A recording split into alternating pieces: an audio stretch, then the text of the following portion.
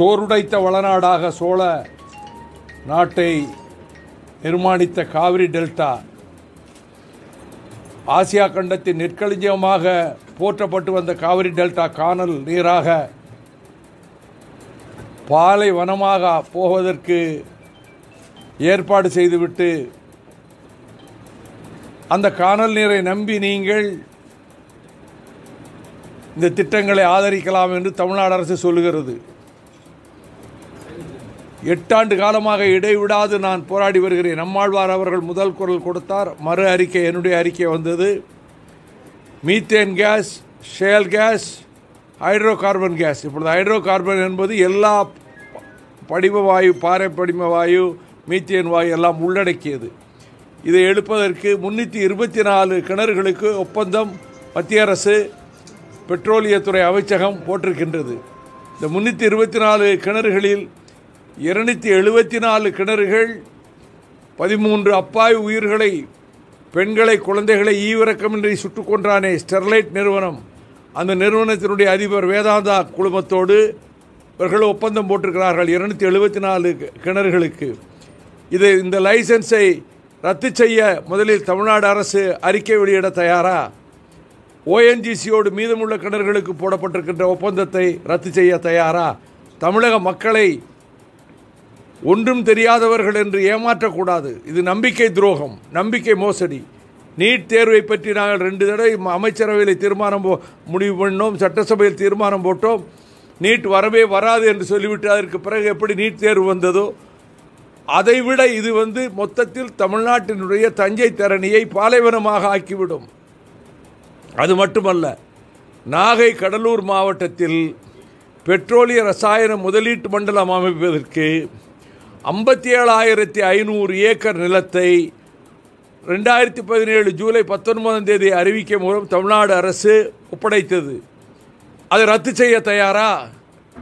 இங்கே ஐம்பத்தி ஏழாயிரத்தி ஐநூறு ஏக்கர் நிலத்தை பெட்ரோலிய ரசாயன முதலீட்டு மண்டலத்துக்கு நீங்கள் ஒப்பந்தம் போட்டுவிட்டு நாங்கள் இதை பாதுகாக்கப்பட்ட வேளாண் மண்டலமாக ஆக்கப் போகிறோம் என்று சொல்லுவது அதைவிட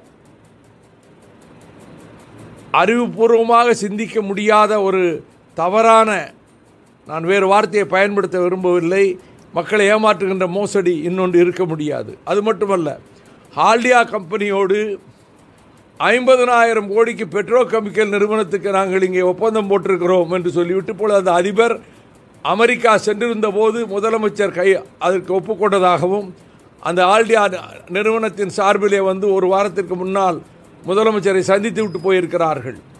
அங்கே ஐம்பதனாயிரம் கோடிக்கு நீங்கள் பெட்ரோ கெமிக்கல் திட்டம் அமைப்பதென்றால் அதுவும் இந்த சோழ வளநாட்டினுடைய முக்கியமான இந்த பகுதியை அவர்களுடைய திட்டங்களினாலே ஹைட்ராலிக் ஃப்ராக்சரிங் நீரியல் விரிசல் முறை இதை மூலமாக மூலமாக மூலமாக மொத்தமாக அழித்து விடுகின்ற திட்டங்களாகத்தான் இந்த மூன்று திட்டங்களும் இருக்கின்றன. இந்த திட்டங்களை ரத்து செய்யாமல் நாங்கள் இந்த திட்டங்களை ஏற்கவில்லை.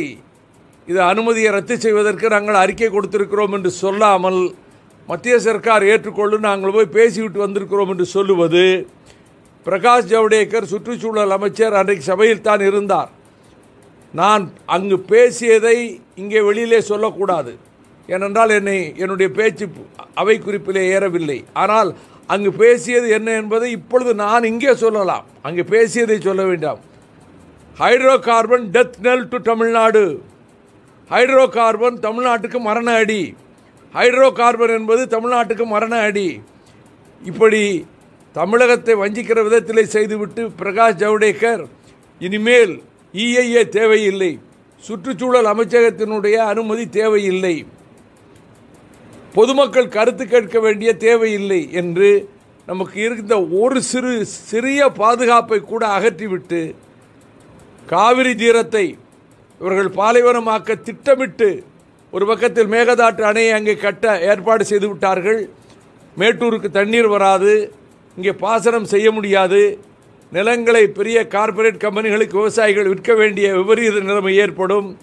இவற்றை எல்லாவற்றையும் மூடிமறைத்து இவ்வளவு படுபயங்கரமான ஒரு மோசடியான வேலையிலே தமிழக அரசு ஈடுபட்டிருப்பது நெஞ்சில் வேலாக பாய்கிறது. இதை தமிழக மக்கள் புரிந்து கொள்ள வேண்டும். முதல் மு- முதலில் உண்மையிலேயே தமிழ்நாட்டு மக்களை காப்பாற்ற வேண்டும் என்ற எண்ணம் இருந்தால் இவர்கள் ரெண்டாயிரத்தி பதினேழு ஜூலை பத்தொன்பதிலே கொடுத்த அறிக்கையை திரும்ப பெற வேண்டும். பெட்ரோலிய ரசாயன மண்டலத்துக்காக ஒதுக்கப்பட்ட நிலம் ஐம்பத்தி ஏழாயிரத்தி ஐநூறு ஏக்கரை நாங்கள் ரத்து செய்கிறோம் என்று அறிவிக்க வேண்டும். அதை போலவே ஓஎன்ஜிசியோடும் வேதாந்தா குழுமத்தோடும் மத்திய அரசினுடைய அமைச்சகம் பெட்ரோலியத்துறை அமைச்சகம் தர்மேந்திர பிரதான் முன்னிலையில்தான் ஒப்பந்தம் கையெழுத்தானது.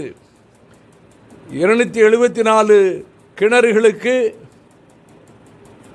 வேத அவர்கள் வேதாந்தா குழுமத்துக்கு கொடுத்து விட்டார்கள். மீதம் ஓஎன்ஜிசிக்கு கொடுத்து விட்டார்கள். இவ்வளவு பெரிய மோசடி தமிழ்நாட்டில் இதுவரை நடைபெற்றதில்லை. நம்முடைய வேளாண் பெருங்குடி மக்கள் நம் பாதுகாக்கப்பட்டு விட்டோம் என்ற நிம்மதியிலே இருக்கிறார்கள். எட்டாண்டு காலமாக இடைவிடாது ஊர் ஊராக கொடி கட்டாமல் சென்று மக்களை சந்தித்து இந்த ஆபத்தை எடுத்துச் சொல்லி தமிழகம் எத்தியோப்பியாவாக மாறும் பஞ்ச பிரதேசமாக மாறும். தமிழகத்தினுடைய வளமான பகுதி அழிக்கப்பட்டுவிடும் என்று நெஞ்சம் வேதனைப்பட நெஞ்சம் உள்ளுக்குள்ளே கதற மக்களை சந்தித்த அந்த வேதனையோடு சொல்லுகிறேன். இதை விட ஒரு மோசடியான திட்டம் வேறொன்று இருக்க முடியாது.